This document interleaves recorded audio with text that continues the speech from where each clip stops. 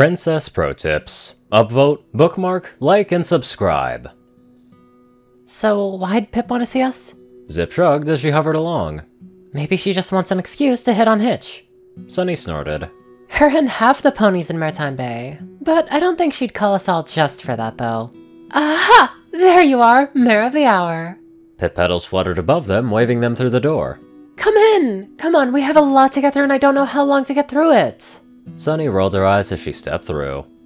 Hey, Hutch, Any issues in the office? Oh, you know, returning things that were stolen during the panic, repairing the damage to the town, uninstalling all the Candlelogic emplacements. The stallion clacked his hoof. Oh, that reminds me. Zipp, could you make sure the Pegasi know the unicorn traps aren't landing pads? I thought it'd be obvious, but after 15 incidents in the same day- Sorry, Sheriff, it's a speed challenge. Zipp explained. Hit the trap and launch off before it snaps. I'll let him know, but it's not gonna stop anytime soon. and I thought Sunny made my job difficult. That explains the empty traps, though. How many were there? 12 incidents. Drat. Zipp grinned. I only did 10. Hitch leveled a flat look at her, preparing to launch into a tirade when Izzy Moonbow rolled through the door. Ta-da! Izzy. Sunny laughed. So that's where my roller skates went off to.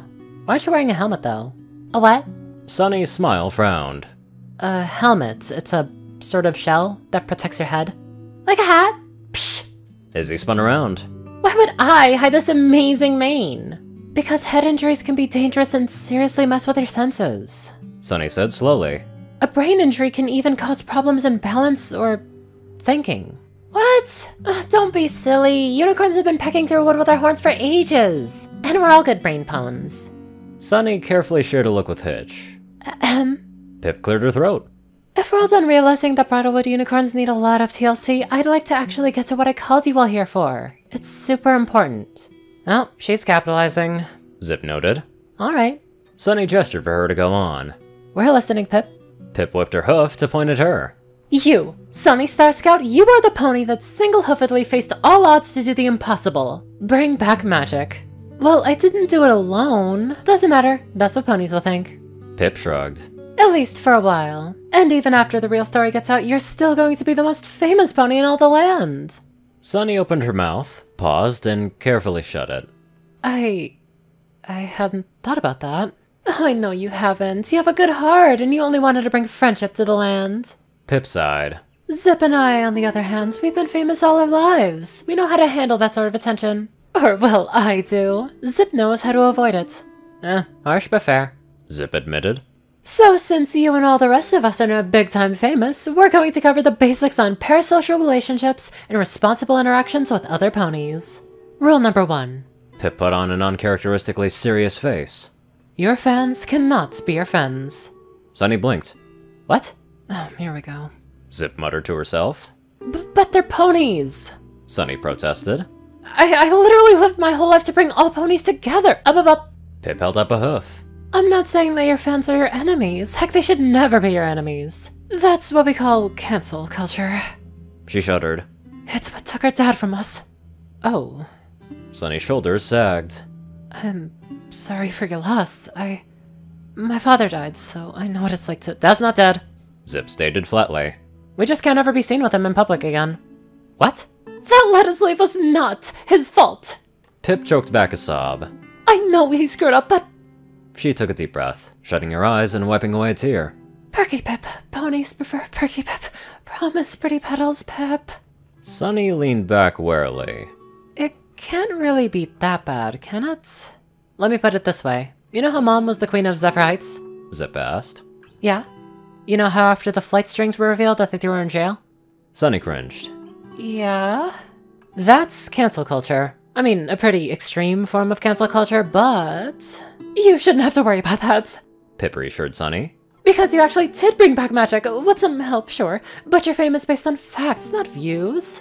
Still, point remains. Fans can't be your friends. They can become your friends, but at that point they're not your fans anymore. Sunny frowned. I don't... I don't get it. Pipp shrugged. Yeah, I thought you wouldn't. So, let me give you an example. Hitch, come stand over here, please. Hitch blinked, walking over warily. Uh, sure? Pipp gestured at him with a hoof. Hitch Trailblazer? She gestured at the calendar next to him. Hitch Trailblazer. Hitch Trailblazer. Izzy added, putting a macaroni sculpture of Hitch on the desk. Same pony, right? Sunny nodded. Of course. Wrong! Pipp jabbed a hoof at Hitch. This is Hitch Trailblazer the pony. Perfectly ordinary. He eats, he sleeps, he has a secret hoof shake, and sure, he's got awesome abs, but you can bet that they don't come magically formed. It takes a proper diet and workout, Hitch confirmed. But this? Pipp pointed at the calendar. This is Sheriff Hitch, the law manifest, here to bring order and protection to Maretime Bay. Does he eat? Only when he needs to. Does he sleep? That's insanity. He's a glowing beacon to the entire town. Uh, and this! She whips her hoof around. This is, uh, a creative expression of my positive feelings towards my friend and the changes that he has brought about in my life. Izzy offered. I've actually done one of each of us. I was gonna hand them out after this meeting. Pipp's face melted into a soft smile. Oh, Izzy, that's so sweet. Thank you. Sis? Zipp flicked her eyes to Sunny. You wanna, uh, right, right, right. Pipp put back on her serious face. To us, Sunny, you're Sunny Star Scout, the Earth Pony, and our friends. And that means a lot. But to your fans, you are Sunny Star Scout, Friendship Reborn, Fount of Magic, Unifier of the Tribes. There's two Sunnies, is what I'm saying. There's one sitting here, and the icon. Well, okay. Sunny allowed. I can get that I have an image, somehow, but I'm not understanding what it has to do with my fans not being my friends. Pipp sighed, and then her ears pricked up. Your dad, he told you stories about the ponies of old, right? Yeah? And there was one, a friendship princess or something? Yeah! Tell me about her. Pipp prompted. Well, she. she was the leader of a group of heroes. Sunny began. Earth ponies, Pegasi, and unicorns all working together to save the world. And she was super smart. She knew about the magic of all the tribes, and her friends were pretty cool too. Like, like there was this Pegasus that could fly fast enough to make rainbow explosions, and this Earth pony that made the best cupcakes, and a unicorn who could turn back time. Pipp nodded.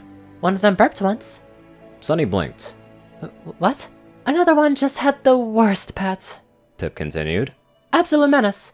Now hang on. And like, I'm pretty sure there was one time the princess woke up with a terrible ped mane and couldn't get it looking right all day. Stop!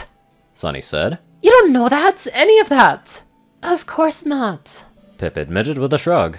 But they're just ponies. I mean, it's pretty likely that everything I said was true. Th- that's that's not the point. They're my heroes. They're the ponies I've looked up to all my life. Slowly, realization began to dawn on Sunny's face. I'm not saying that you couldn't be their friend, Sunny. If they suddenly reappeared somehow, I honestly think that you could. But you'd have to get used to, well, them being ponies, not icons. Pipp's voice was solemn as she landed. And that's the position that you're in right now. Some fans, maybe, they'll become your friends. Some very important ponies, too. But you're starting off with a lot of power and not much emotional connection. You have to be careful. Understand? For their sake and for your own. Oh, Sunny sagged. hey. Zipp put a hoof on her shoulder. It's not that bad. you've got real friends in this room. And hey, there'll be ponies who aren't bedazzled by the whole Fount of Magic thing. Yeah, I guess. I just. Sunny shook her head. I didn't think that this would be like that, you know? Lot to get used to. Hitch agreed. Still, if you can get used to it, well, I have to admit. He struck a pose. I'm a pretty big fan of Sheriff Hitch myself. Yeah, I kinda like him too. Pipp agreed. Of course, I met the pony underneath first, so. She waggled a hoof non-committally. Anyway, I was going to give you all the tips now, but I'm looking at you and I'm realizing that this was kind of a major bomb to drop, so yeah, meeting over. We'll talk about everything else later. Yeah. Sunny took a breath. Still, I brought the ponies back together, and I'm going to keep trying to do that, spreading the message of friendship across the world to my fans.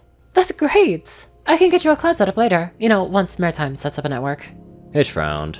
Wait, if Pegasi couldn't fly, then how could you still work with clouds?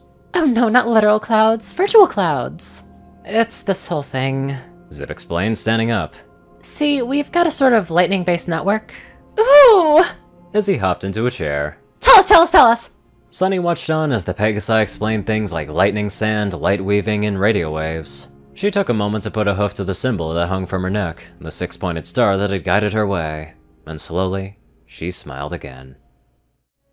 I wonder if what they were saying, like the lightning sand or whatever, is like the equivalent of fiber optics. Or maybe they have cloud servers that are literal clouds. Man, the possibilities are endless. But other than that, this was very sweet and a nice little thing to learn. Now let's hop on over to our knowledgeable donators. Top donators Peter Coulthard, J Tinman, Darkside, Gauntlet, and only one thing. Zar630, Strix, Rayden, Narwhals, Black Moonheart, Drake Love Dragon, Pastel Skies, Austin Roland, Crazy Color 557, Stew Hex, Will, Omicron Lyrae, Dospo, Delta Omega, Jack Hadge, RuneScythe 9852, Madman Stan, Leslie Perkett, Hunter Norman, Stephen Bingham, Line God 12, Sorcerer Constantine, Hud Zaza, and many more fabulous people. Thank you all so much for watching this video and live life to the fullest.